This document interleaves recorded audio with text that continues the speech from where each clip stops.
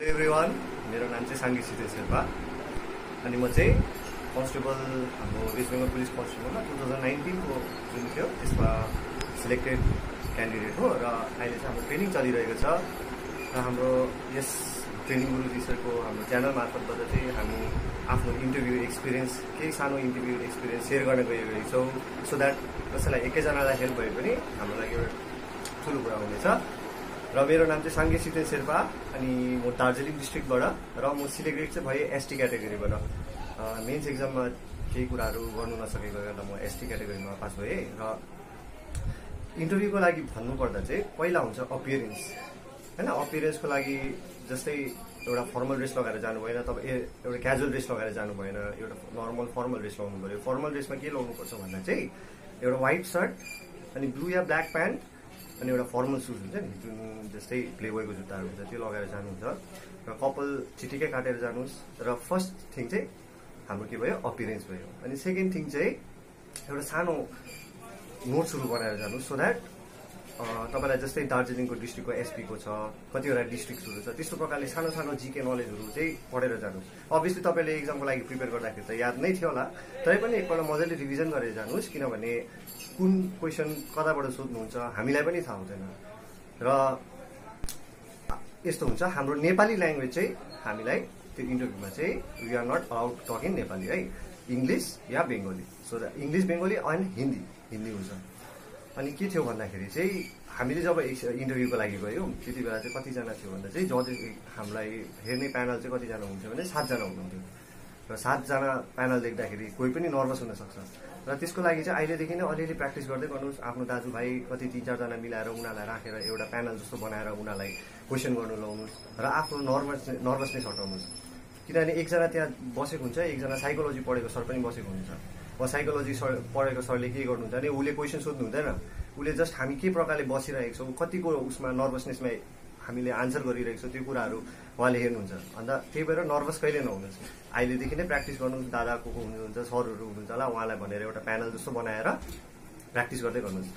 र अर्को भन्नुपर्दा मलाई क्वेसन के सोधेको थियो त्यो है सबैभन्दा इम्पोर्टेन्ट कुरा चाहिँ फर्स्टमा चाहिँ अभियसली तपाईँको नाम के थियो कस्तो के थियो अनि बाबाको नाम तपाईँ कहाँबाट आउनुहुन्छ त्यही सोधेको थियो। अनि मेरो साथीहरूकोबाट सुन्दा सुन्दाखेरि चाहिँ जस्तै म दार्जिलिङबाट हो भने दार्जिलिङको लागि स्पेसिफिक के कुराहरू सोध्नुहोस् दार्जिलिङको कुन चाहिँ कता दार्जिलिङको फेमस के छ? टी छ होइन? टीको बारेमा केही कुरा सोध्नु सक्ला र त्यस्तो सानसानो कुराहरू इन्टरकनेक्टेड चिजहरू चाहिँ याद गरेर जानुहोस् अन्त अन्त अर्को कुरा हबिजहरू सोध्छ। हबी सोद्धाखेरि जस्तै मेरो एकजना भाइ थियो भाइले भन्यो मेरो हबी चाहिँ के हो? फुटबल भन्यो। र त्यसरी फुटबल हबी भन्दाखेरि कुन चाहिँ एक्सटेन्टसम्म सोध्यो भन्दाखेरि चाहिँ एटिजको टाइममा एटिएथ सेन्चुरीमा एटिजको टाइममा चाहिँ नाइन्टिन एटिजको टाइममा चाहिँ कुन चाहिँ फुटबल क्लब चाहिँ फेमस थियो भनेर त्यहाँ त्यो एक्सटेन्टसम्म पनि क्वेसन सोध्नु भएको थियो। र कुन प्रकारले सोध्नुहुन्छ कस्तो प्रकारले सोध्नुहुन्छ थाहा हुँदैन। त्यही भएर एउटा के आन्सर दिनुहुन्छ त्यसरी एउटा इन्टरनेट इन्टरकनेक्टेड क्वेसनको पनि आन्सर याद राखिराख्नुहोस् त्यो चाहिँ भेरी इम्पोर्टेन्ट अनि मलाई के सोध्यो भन्दा चाहिँ मेरो एजुकेसनको बारेमा सोध्नुभयो र एजुकेसन मैले भने म बिएससी अनर्स इन केमिस्ट्री गर्दैछु र त्यही रिलेटेड नै मलाई सोध्नुभयो। अन्त मेरो भाइ जो एकजना भाइ हुनुहुन्थ्यो उसले भन्नुभएको थियो कि म हायर सेकेन्डरी गर्दैछु। हायर सेकेन्डरी गर्दैथ्यो भन्दाखेरि उसलाई डिफ्रेन्ट एउटा भराइटी अफ आन्सर्स दिनु सक्यो। किनभने हायर सेकेन्डरीमा साइन्समा के गर्नु सक्छ subject biology physics chemistry maths होइन सबैपट्टिबाट चाहिँ क्वेसन सोध्नु सक्नुहुन्छ। त्यही भएर पहिला नै प्रिपेयर भएर जानुहोस् के आन्सर दिनुहुन्छ? यदि तपाईँले ग्रेजुएसन गरेको छ भने ग्रेजुएसनमा के अनर्स लिएर गर्नुभएको छ त्यसको स्पेसिफिक क्वेसनहरू लिनुहोस्। हाम्रो दा दाजुहरू हुनुहुन्थ्यो जसले इकोनोमिक्समा अनर्स गरेको छु भन्नु हुँदाखेरि त्यसमै फिसल पोलिसी के हो? त्यस्तो प्रकारले इकोनोमिक्ससितै रिलेटेड क्वेसनहरू सोध्नु भएको थियो।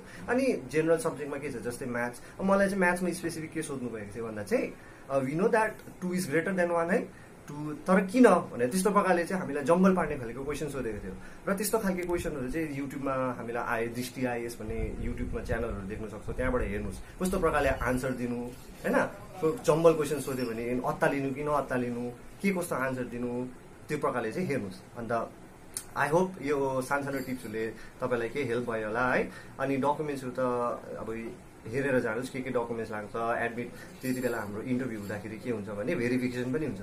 त्यसको लागि हामीले प्रायः हाम्रो जति पनि हाम्रो ओरिजिनल डकुमेन्ट्सहरू हुन्छ त्यसको जेरक्स कपी पनि रेडी राख्नुहोस् तिन चार कपी जेरक्स गरेर राख्नुहोस् किनभने पछि जब तपाईँहरू पास हुनुभयो भने पछि भेरिफिकेसनको लागि पनि काम लाग्छ त्यो जेरक्सहरू अनि त्यही डकुमेन्ट्स चाहिँ सबै ओरिजिनल बोकेर जानुहोस् अनि अपियरेन्स चाहिँ इज अ मस्ट अपियरेन्स चाहिँ मस्ट हो। अनि जब भित्र पस्नुहुन्छ भित्र पस्दा पनि may I come in sir भन्ने सर हुनुहुन्छ भने म्याई कमिन सर भन्यो सबै सरलाई भनिरहनु परेन। सर भन्यो भने सबै सरलाई भइहाल्यो म्याई कमिन म्याडम भने सबै म्याडमलाई भइहाल्यो। त्यस्तो प्रकारले पस्नुहोस् अन्त ग्रिड गर्नुहोस्। तपाईँले अब इम्पोर्टेन्ट के हुन्छ तपाईँले यदि पस्दाखेरि म्याई कमिन भन्नुभयो। द्याट मिन्स तपाईँको जुन कन्भर्सेसन हुन्छ त्यो इन्टरभ्यूको सबै केमै जान्छ इङ्ग्लिसमा जान्छ। मे अन्धर आसक्त हौ भनेर सोध्यो अरे तपाईँले। अन्धर आसक्त भने तपाईँले हिन्दीमै जान्छ। And most important thing Nepali चाहिँ चल्दैन।